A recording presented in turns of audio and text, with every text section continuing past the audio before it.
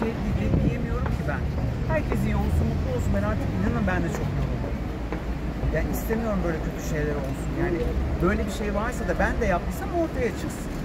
Yani O çünkü sektördeki herkes çok üzüldü. Yani insanlar şok oldu. Ben her gün şoklarla izliyorum. Bir şey de söylemeyeyim ya bu kadar. Yani söyleyeceğim şeylerin aynısını söyledim gene artık bir şey katmadım. Tamam Ben kaçıyorum, öpüyorum.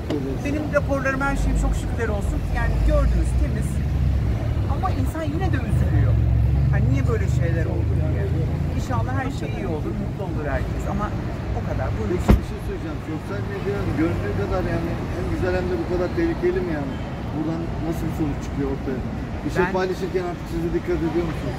Etmez olur muyum ya? Zaten hep dikkat ediyordum ki ben. Yani zaten hep dikkat ediyordum. Ama e, olaylara ben çok üzüldüm. Onlar biraz lüksü abarttı biliyorsun. İnsanların gözleri biraz fazla. Bana düşmez yorumlamak. Vallahi ben beni hiç beni katmayın. Çünkü ben o söyleyeceğimi söyledim. Rapor benim her şeyimde şükürler olsun. Bir herhangi bir problem yok. Öyle yani. Dikkat edin Bu kendinize. yeni mi bu arada? Ne o? Bu. Ha evet evet bayağıdır vardı ya. Yeni, Şöyle olsun? yeni e, markamın egzotik serisi çıkacak. Ben de oraya egzotik yazdım. Güzel. Tamam. Hadi Allah'a emanet olun. Ama erkek arkadaşımın baş harfi. Tamam mı? Var